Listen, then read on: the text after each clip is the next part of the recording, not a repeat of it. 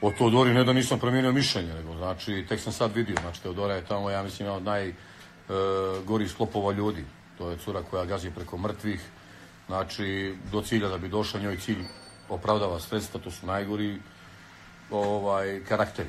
Sad, ona je mlada cura, ja se iskreno nadam da će jednog dana da izađe iz, iz, iz tog nekog začaranog kruga slave. Jer ipak slava, slava je, kako da vam kažem, tu možda profitirate finansijski, ali duhovno i ljudski, ako budete dali sebe, svoj duh, svoju dušu, svoj ponos, čast i obraz zarad slave, džaba vam sva slava. Kakva slava?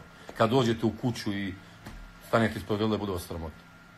Ona ako to može, njoj svaka čast, ali ja mislim da i ona sama ne vjeruje u priču koju priča. Pogotovo s ovim sada. Ali sad kako sam ju upoznao majku, donekle i kapiram. Pozdravljam krajinu. Pa sad i donekle i kapiram. Znači, ipak nju gureju tako. Znači, ono, kažu, od malena takav, kažu ljudi što se grbo rodi, vrijeme ne popravi. Znači, od malena je govore slava, slava, slava, slava.